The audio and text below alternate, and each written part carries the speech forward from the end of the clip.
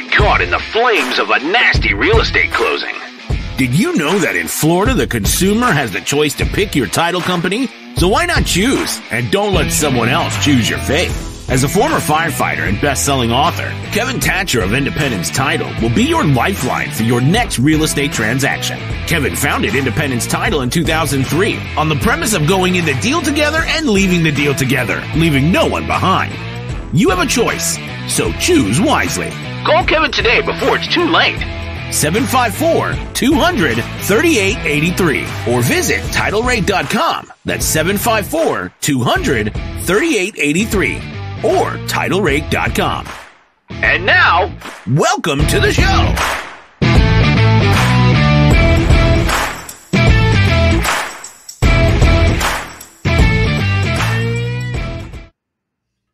Hello, everyone. Welcome back to another real estate podcast. My name is Kevin Tacher, the founder and CEO, that's right, Chief Everything Officer here at Independence Title.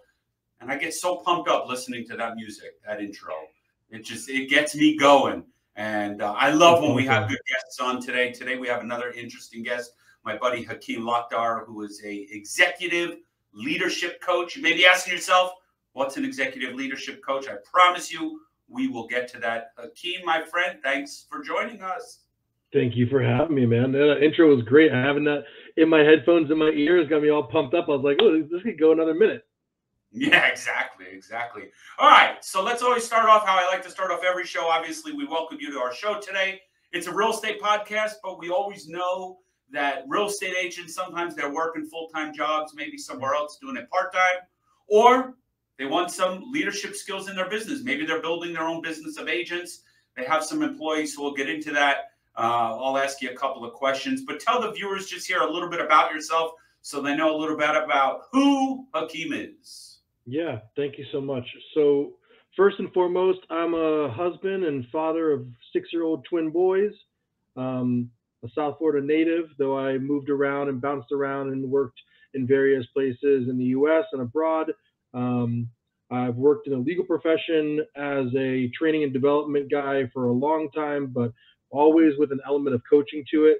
And uh, when we had the boys up in Boston, we decided to move back to South Florida, and I've been back in South Florida the last six, almost seven years now. Awesome. So we had last week. I know you saw the episode. We had uh, Joel Gandara on, uh, who's uh, you know a friend of both of ours. You know he does some type of coaching, and and we're in some networking groups with coaches.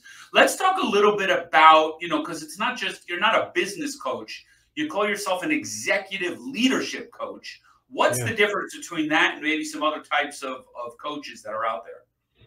Yeah, it's a great question. And I get that question a lot. And I think, you know, to address the first one of business coach, people hear business and they think it's sort of all encompassing. But I really think of business coaches as more of more as consultants. They're really thinking about like the dollars and cents of the business, the systems and operations that they can improve within a business that improve efficiency and ultimately the bottom line.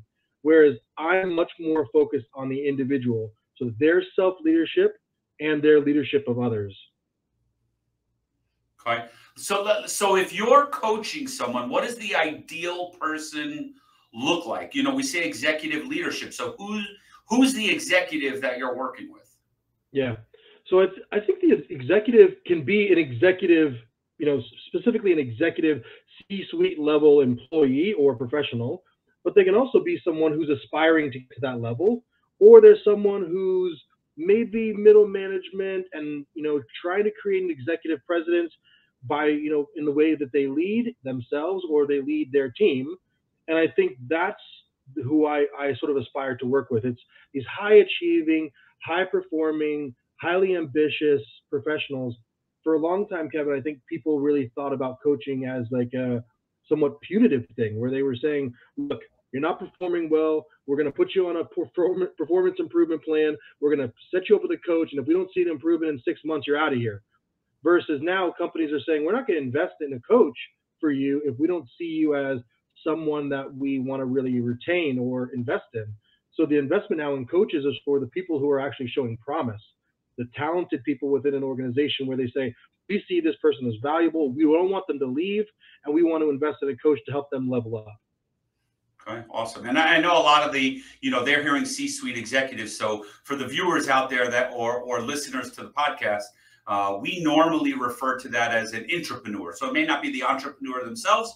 We That's call right. that an entrepreneur, someone who is an employee of the company, but they they treat the company as if it's their company. Um, so these are your C-suite executives that that um, Hakim coaches and, and helps excel to obviously increase the bottom line and, and make the businesses better. Um, but these could be real estate agents, right? That maybe they're working on a team. They want to know how can the team work better together. Um, how would you relate that to, to someone that is in the real estate game? Because obviously there's a lot of people listening to this, but you know my my network is is real estate investors and agents. Uh, but someone, let's say they work on a team of, of five agents. What what could you help them with? Yeah, absolutely. I think you know, and I don't I don't want the misconception to be that I'm I'm specifically working with and exclude anyone other than C-suite executives. Those are those are my sort of common clientele based on what I've done in my profession, and and those are the level of professionals I've worked with, you know, in the years prior in my various institutions. So I, those are the ones I have exposure and familiarity with. But I love coaching highly ambitious, highly entrepreneurial, entrepreneurial type professionals and real estate agents are often those types of professionals. They're they're you know highly intelligent. They're very ambitious and driven um, individuals. They see opportunity constantly and they want to make something of it. They're inclusive and collaborative. They've got great communication skills. So a coaching relationship with real estate agents is actually uh, a lot of fun. I mean, not only is it productive and powerful, but it can be a lot of fun. So I think when you think about real estate agents, one of the things that I really focus on in my coaching is self leadership. And I think so little has been focused on self leadership because when people hear leadership, they immediately think of managers, bosses, supervisors. And I quickly distinguish between what it means to be a manager or a boss or supervisor and what it means to be a leader, leader of oneself and a leader of others. And I think that as real estate agents, you you know you know better than anybody, but there is a you know a a high high need and significance for discipline, commitment, organization, all of those things that are so crucial to self leadership are then applied once you apply them to yourself effectively. They're then applied to a team. So you got to model that by doing it, and then you can start thinking about how you apply it to a team. All right, so let's say, I mean, you know, the, here we talk a little bit uh, enough about you. Let's make it more about them now, because um, mm. we always love to give you know nuggets. I like to do the general, uh, you know, yeah. the, the overview of who you are and, and what you do and how you can help them. So let's talk about some challenges. What are what are some challenges you're seeing? You know, maybe pick one or two challenges that that these high level executives have. Whether it's some of the stuff you talked about, maybe it's being consistent, uh, maybe it's discipline, maybe it's organizational stuff how, how do you help them? Like, let's give some tidbits to someone if if you were coaching me on on a problem. Yeah, I think one of the things that comes up a lot, and and it it's sort of maybe counterintuitive, but all the things that you could list as potential blind spots or you know areas of opportunity for growth for leaders are are never are never uncovered before we first attack self-awareness. And self-awareness is huge. I think self-awareness for leaders, there's a you know, sort of this misconception that once you've reached a certain level, they've learned everything there is to know, and you know, I don't need to hear it from the rest of you. And all of a sudden, you realize that you've sort of turned off this switch about learning and being receptive and open to new ideas, and you're just kind of using what's worked for so long. And when you get into that, you know, into that pattern, you really stop the expansion that you have and that you're sort of obligated to create for yourself and those you lead um, as a leader. So I think that self-awareness is one piece where I, I focus on immediately. If I notice that a client is struggling with self-awareness, to be open and honest with themselves and then with me as their coach about where their pitfalls are, where their struggles are, where some of their limiting beliefs might be, that's what I go after first. Because without that, we're never going to be able to uncover anything else. Okay. Uh, so let's talk about um, you know, I want to hire you, right? So someone mm-hmm. wants to reach out to you and they're just having a really big problem in their business. Maybe they're losing money. Maybe, you know, they can't afford to pay their bills. They're, they're, they're obviously struggling. They have money, but they see it's, it's declining. Um, mm-hmm. But I think as an entrepreneur, one of the biggest things that I see, uh, which is why I'm in so many of these high level masterminds and I'm in the brotherhood because we feel like it's instant camaraderie that, that you feel like you can be vulnerable and, and get yourself going. But do you find that people have a hard time when they're calling a coach? Like, how do you build that trust level with them so, so they feel comfortable, obviously, sharing to you their finances and their problems and their struggles? Like, I'm sure that must be a challenge for you. It is. It is. It's a challenge for all of us. I mean, I think we've all heard the expression, we do business with people that we know, like, and trust. And that takes time. And I think one of the skills that I bring to the table as a coach and something that I've developed over, you know, years of working, especially in the legal profession as a non-lawyer, often the most junior person in the room at high institutions was creating sort of a, a, a level of trust and and safety and comfort and credibility that reassures whoever I'm speaking to, whether a client or they're a colleague or they're a direct report, whoever it might be, that that this is a safe place and that my intentions are all coming from a place of wanting to serve you, wanting to help. So I have no personal agenda here except to be as helpful to you as possible. And if I can convey that within the first five, ten minutes of meeting with somebody, whether it's a new client call, a prospective client call, or a brand new client we're diving in, you know, session one, that sets the tone for how we can kind of then ease into some of these more challenging topics. And I think you're right. I mean, I think that especially people at a certain professional level, they can hold things pretty close to the vest. You know, they don't they don't really want to divulge all this stuff and they don't really want our whole purpose here is just to kind of put it all out on the table. I mean, I tell my clients this all the time. Nothing's off the table. We can talk about anything. We are talking about things in a professional context, but I also fully appreciate and encourage when my clients share some bits of their outside life with me that could be affecting their work or where their work is affecting their outside life and it becomes this vicious cycle. So once they see that there's a there's a you know sort of a connection and correlation between some of these things that they may not feel absolutely comfortable sharing, but also if they do, they can have these breakthroughs and these you know aha moments and light bulb moments where they can start to understand themselves and their situation a bit better. They actually they they lean in, and that's and it can be ended up uh, end up being a productive conversation. Awesome. Yeah. I, I mean, I know I, I go pretty deep very uh, often when I'm meeting with someone that um, I feel comfortable with. Uh, you know, someone asked me the other day, like, how do you pick and choose? I'm like, well, I pick and choose my friends wisely. Um, I know I've posted about that on social media a lot, but like, I pick my people close because I know I like to go deep in the challenges that I'm having mm. and explore what I'm going through and how I'm going through. There have been clients I've sat with where I'm like, you know, you're looking to hire somebody. Like, I don't do coaching, but it's like I'll sit with a real estate agent and I'm like, here's my tax return. Like, I'll show you how much money I make. I'll show you what I like. I have no problem. Like, I'm an open book because I want you to feel comfortable that if you're going to work with me, you understand that like I've struggled, like I've been through these struggles before and some of these challenges. So, you know, again, it's very, very, uh, very, very difficult thing I think for entrepreneurs um, to do so. It's great that that you really understand the the challenges that they will have with opening up, and you have tools in place to be able to get them where they need to be. For those that may be listening, that are just like, you know what, I really know I need a coach, but I just don't feel comfortable just calling some random coach.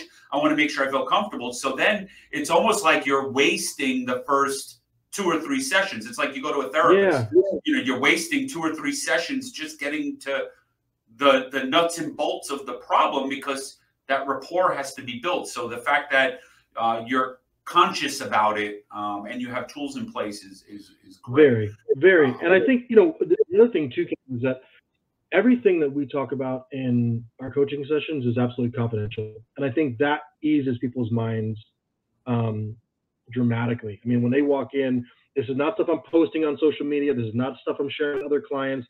This is a one-on-one session. This is tailor-made to you and whatever your needs are.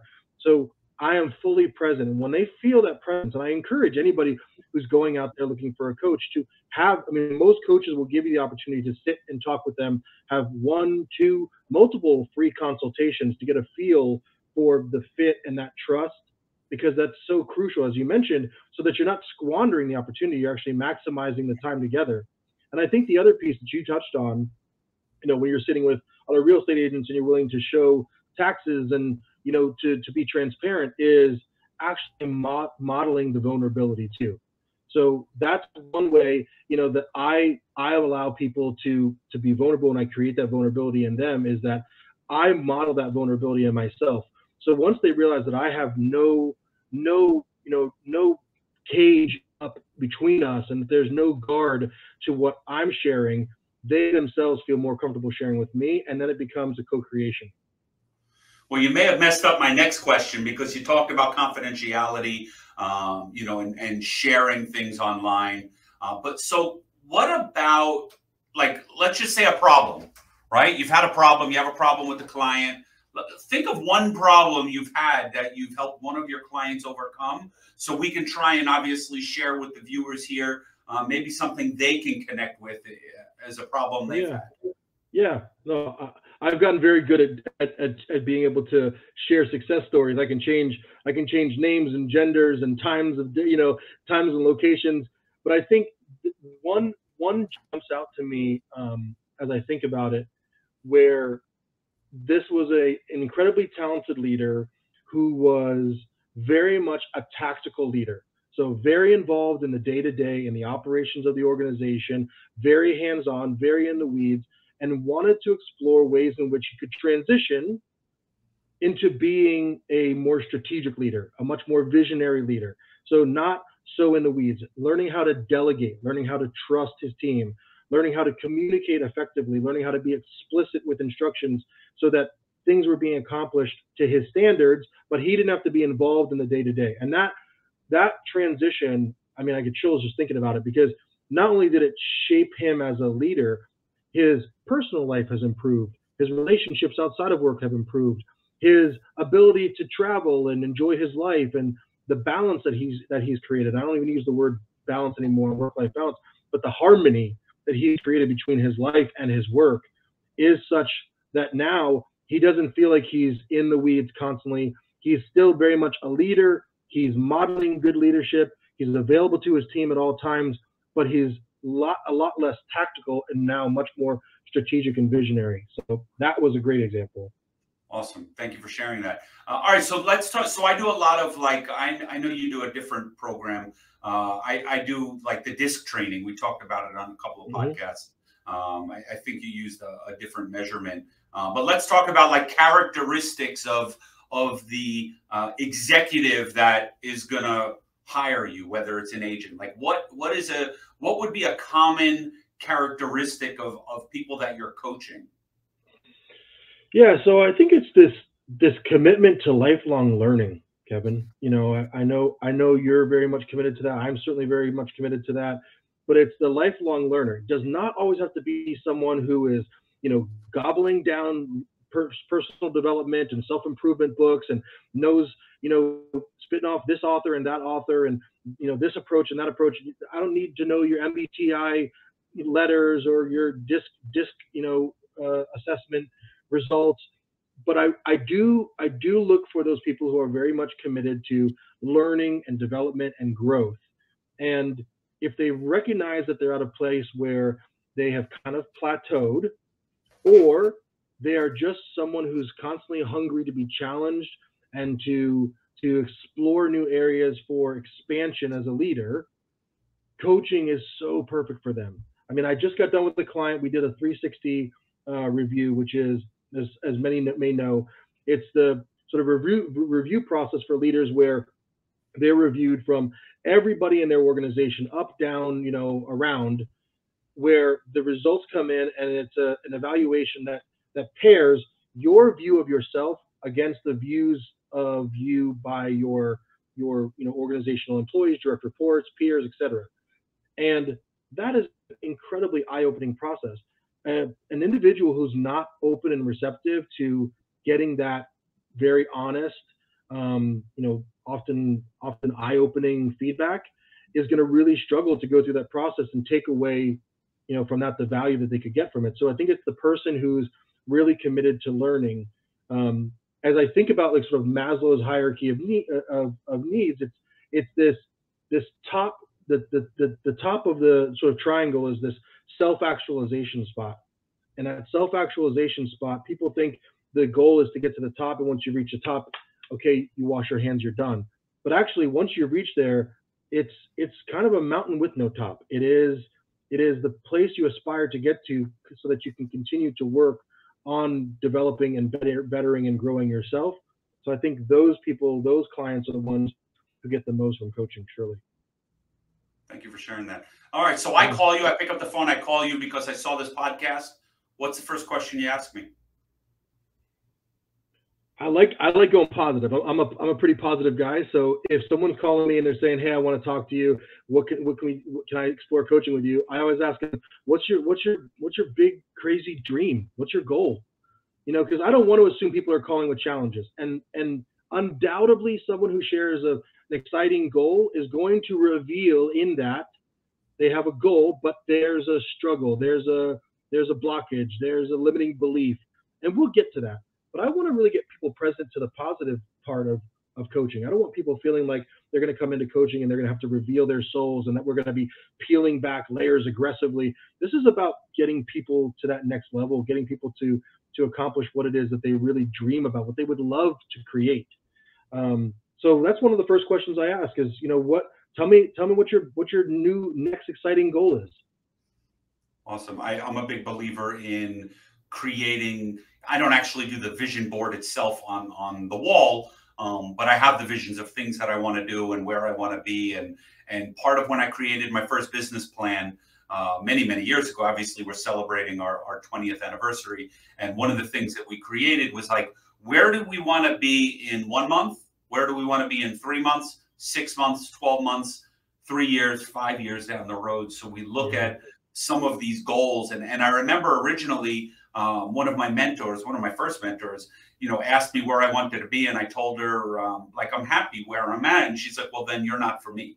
Like I. I, was, she was a real estate agent. I was the title guy. And she's like, I want to work with someone who thinks bigger. I mean, I was a kid. I was 26 yeah. years old. Um, I didn't really understand goal setting and visions. Uh, so it's great to hear, you know, and uh, off the cuff, a question of like, what do I ask, and and and what do they respond? Um, let's talk about communication because you talked about the key is to effective communication. You mentioned that. Uh, what about if you have an executive? They're they have people under them, they have people above them. What what? How do you help them with effective communication? Like, how do you help them deliver their message better? You know, I'm used to going. You know, you go to Toastmasters and you learn about the ahs and the ums, and you learn to talk slower about how to communicate. But the thing is, there's so much more than just being able to articulate your message properly. There has to be keys to where I can communicate my message better to my team. Maybe hmm. it's different team to the owner of the company if you're stuck in the middle. So talk just a little bit about communication and skills, maybe techniques you have to to refine the communication skills. Yeah, it's a it's a great question, and it's so important, especially once you reach, reach a certain level professionally, and you're expected to communicate vision, and you're supposed to influence and inspire people. I mean, how do you use language to do that? And I think it is a skill. It is something that you have to develop over time. And you know, my two of my three C's. My you know, I, I talk about leading leading leading professionals to effectively lead themselves and others with clarity, confidence, compassion those first two, clarity and confidence, are essential for good communication. So if if if an individual isn't clear on the message they're trying to communicate, it's never going to come out clearly to, other, to others. And I think that's what I often find is when I'm speaking with a client, I'm saying, okay, so talk to me about what you're trying to communicate. I don't care how broken or choppy it might sound. Talk to me about how what you're trying to communicate. And if they're umming and ahhing because they're not really sure what it is they're trying to communicate, right there we, we recognize the problem. Okay, there's no way you're going to walk into into a, a staff meeting or into a boardroom and have a conversation or present effectively if you aren't clear exactly what you're trying to accomplish and what you're trying to communicate. So clarity is key, absolutely. The other one is confidence. And the confidence often comes from having that clarity first. Once you've got that clarity, you understand what your purpose is, what you understand, what you understand, what you're trying to communicate. Now you can start to create this confidence. Why am I here? Why am I the one presenting this?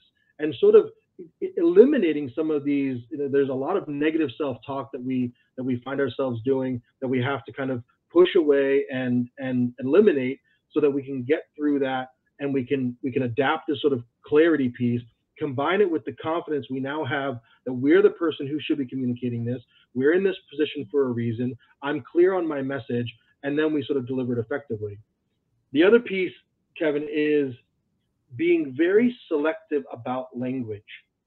And that comes from emotional intelligence emotional intelligence. It comes from self-awareness and it comes from from sort of approaching our roles as leaders from a place of compassion. So how am i thinking about how how my words land. Am i am i am i receptive to how the you know the audience in the room that i'm speaking to is going to feel about the way in which i'm presenting this information? And people who lack that self-awareness or that depth in the emotional intelligence they're just coming out there they're presenting information they don't care how it lands and then they get upset when it doesn't land the way they hoped it would. So i think those three are really really important. It's the clarity it's the confidence and then it's really about having a you know sort of complex skill set around uh, self-awareness and emotional intelligence that that has a message land amazing stuff uh, so let's say I'm, I'm clear, right? I'm, i have the clarity on, on what mm. I'm doing. My communication is much better because I've coached with you. Um, I got to have some blind spots, right? There's got to be things that I don't know about myself, right? Because a blind spot means, you know, maybe I don't know it's there. Um, yeah. What do you think? Like, what what are some of the things you're seeing with people where you have to kind of hold them accountable to be like, well, you know this, like I was talking with one of my friends who is a uh, property manager, and and we were talking about like how you're a workaholic and you're constantly working. Like you don't see that what you're doing is not healthy for you. Yeah. Because you think you're doing what the boss wants you to do. You're trying to yeah. just stay ahead as opposed to trying to figure out why you're doing it. And it's eye opening when I sit with some of my, my friends and people I mentor with and executives. It's like, and, and myself included, you know, sure. sometimes you hear things and you're like, wow, I didn't really realize that about myself.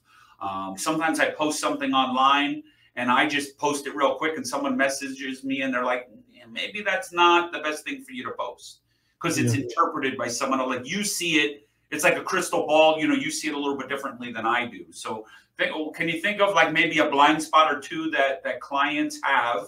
Uh, again, common theme across you know entrepreneurs that that are watching this that'll be like wow i do that as well yeah absolutely so i think one of the most powerful pieces about coaching and i talked to this i talked to my clients about this and i talk about this on, on the other podcast is that as a as a coach i get to serve as a mirror to my clients so i mean there are many instances kevin where like, someone will say something to me and then i'll say pause right there. I want to repeat back to you verbatim what you just said to me, and you give me your reaction. And I'll say back exactly what they just said to me. Say, for example, they said that I was talking to a direct report and I said this. Hakim, what does that sound like? And I'll say, before I comment on that, let me repeat back to you what you just said to me. And they, I mean, I watch their facial, their facial expression and their and their sort of nonverbal reaction to it. And I say, what do you, what did that make you feel like?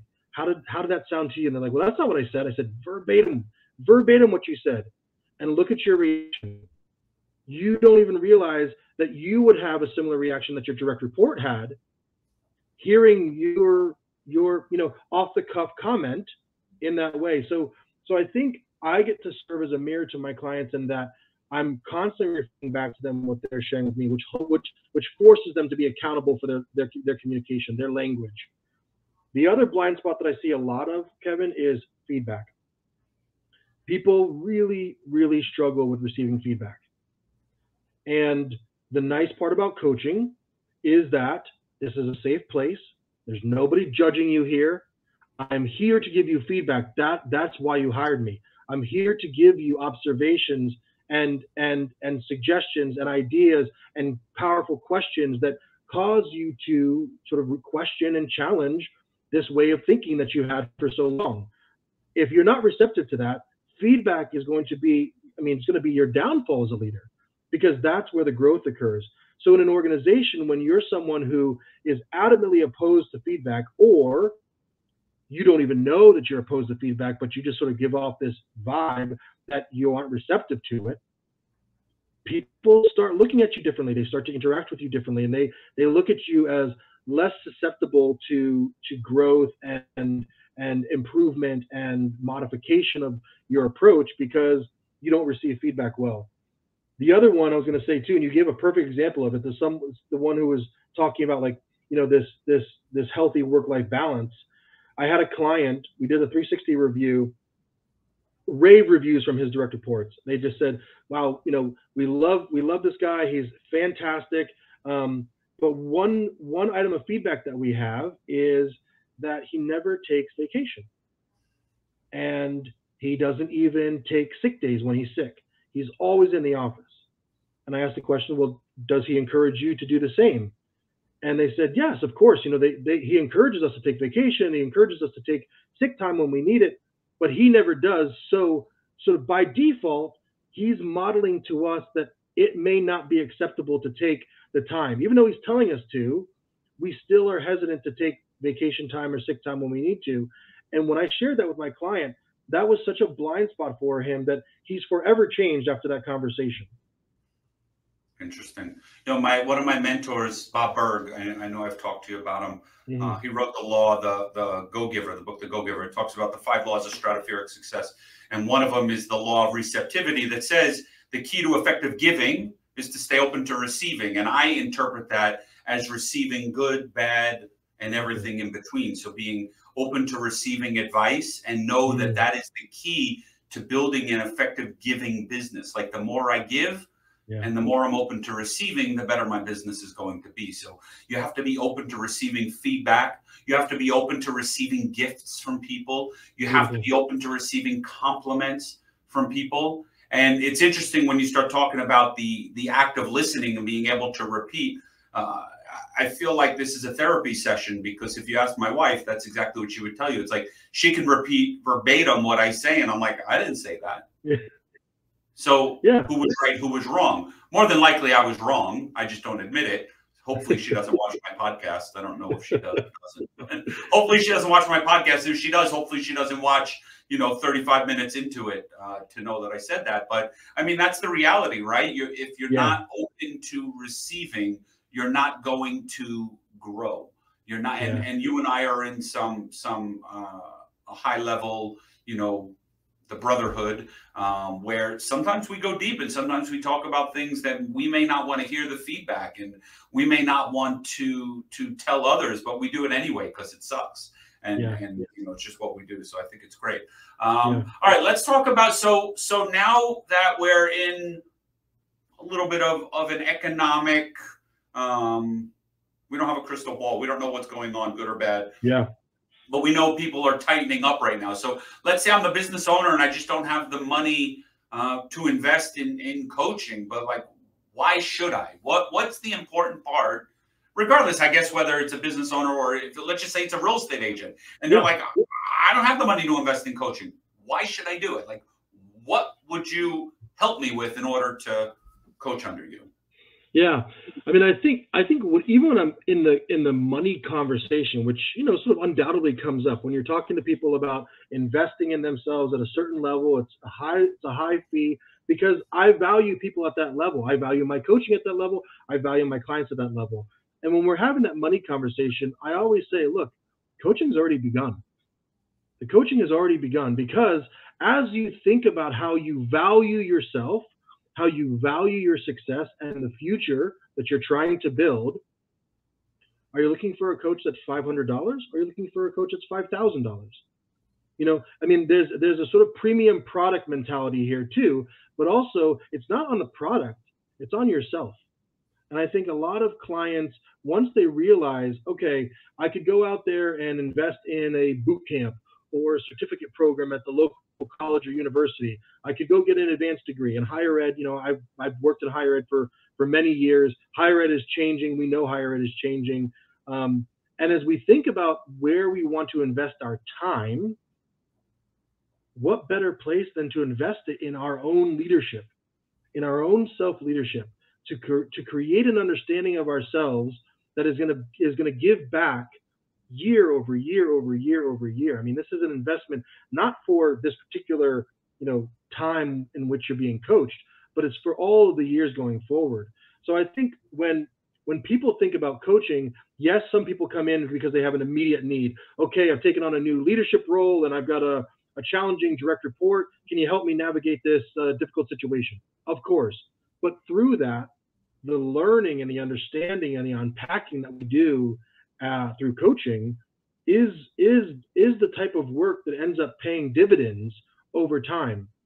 And I think that when you can when you can see the investment as as that an investment not only in yourself but in your your earning potential in your relationships in your your mental and physical health in your you know business business growth you realize that it's it's actually you know small dollars compared to what you can create from it i will say however though that when you think about these ever changing times and how people are thinking about money i think it's also important to shop around I think it's really important to explore what's out there and to explore different types of coaches. I mean, I've got people who come to me who we have a great conversation and we determine it's not the right fit because they're looking for something else. Or, you know, the type of coaching I do isn't really isn't really well suited for what they're trying to accomplish. And that's okay. But I think that rather than rushing into something, you know, a bit rash, I think that it's a good idea for people to take the time to explore, have conversations, and then really fine tune what they're trying to accomplish because then spending that money isn't a, isn't a hard decision at all. It ends up being quite easy. Awesome. Thank you so much. And I appreciate you you taking your your valuable time to be with us. I like to keep My these pleasure. to 45 minutes. So if you don't mind, I'll ask one more question. Yeah. Uh, and then we'll wrap it up. Let's talk about trends of what you're seeing as far as people hiring coaches. Uh, I'm sure you see different corporations maybe that that are a little bit tighter in money. Um, what are you seeing out there as far as people that are investing in in uh, different types of coaching? So I think what I'm seeing is uh, certainly an increase in companies investing. So for a long time, there were individuals who would go out and they had the resources and they would invest. Now I'm starting to see companies really offer this as a benefit. So you can think about things like BetterHelp for mental health and gym memberships and you know, of course, the, the traditional health benefits and retirement plans. This is now being offered, I mean, especially as the workforce evolves and employees' needs and desires and generational, you know, shifts occur. They're saying we recognize the increased value that coaching has for our employees. We are going to offer you X number of hours with a coach, or we're going to end, we're going to offer you X number of dollars per fiscal year to dedicate towards professional development or you know personal development or you know leadership training, whatever it might be. So I'm starting to see that as a trend, um, and and that has really sort of been folded into this well-being movement. So when you think about you know sort of professional well-being, it's been mostly around this sort of mental health, mental fitness, making sure that people are you know keeping themselves healthy mentally. But I think that one of the things that really that, that, that really plagues professionals is an inability to navigate some of the challenges that just sort of naturally come up in the workplace in an effective way. And that's because they they lack some of the self-awareness, they lack some of the skills in terms of communication or empathy or emotional intelligence that are required to handle themselves effectively in these, you know, various situations. So when an employer can say, look, we want to give you this off, you know, this opportunity to work with a coach to develop this. They're not only improving that individual employee, but they're really they're really speaking to what the culture is of the organization, and they're then supporting a much more functional, much more collaborative, much more communicative um, workforce in, in in their organization. Awesome, thank you. Well, clearly you're passionate about coaching. clearly, I'm passionate about coaching. Hopefully, the viewers found some value in today's show. So I appreciate you coming on. How can they get a hold of you uh, if they want to reach you? Yeah, thanks so much for having me too, Kevin. I appreciate it. Um, you can reach out to me anytime, Hakim, H A K I M, at Lakhdar Coaching. That's L A K H D A R coaching.com. Um, you can call me anytime direct to. It's 850 322 8109. I'm happy to set up a time for us to talk and have a conversation and see what's from there. Awesome. Well, I encourage everyone listening to this I'll put Hakim's contact information in the description. Uh, give us a like, give us a share if you found value in this. I encourage you all, if you're in business, you're thinking about maybe as a coach for me, reach out to Hakim, schedule a, a time to just have a little chat with him, have uh, a cup of coffee or a Zoom call with him, and just get to know him and see if coaching may be for you. I know it's for me. I do it on many levels. I have many coaches and mentors over the years, and there's so much value in in personal and professional development. Uh, you know, we're celebrating our 20th year in business, and I tell people five years just to become an entrepreneur. It takes many more years than that to learn the skill set you need to truly be successful. Whether you're a solopreneur, an entrepreneur, an intrapreneur, it doesn't matter. Personal and professional development is not cheap, but it takes you to a whole nother level. So if you want to scale your business from 10,000 to 100,000, 100,000 to a million, million to 10 million, you need a coach. You need someone to teach you those failures in life. I guarantee it. I've used it in my business. So I'm speaking from experience. So I encourage you to reach out to Hakim today. Thanks for joining us on the show today, Hakim. We appreciate you. Glad to be here. Thank you. For everyone else, we look forward to seeing on another episode of the Real Estate Podcast. Give us a like, follow, and share on social media. And as always, Kevin Tacher, the founder and CEO here at Independence Title. That's right, Chief Everything Officer, signing off. I look forward to seeing you soon at the closing table.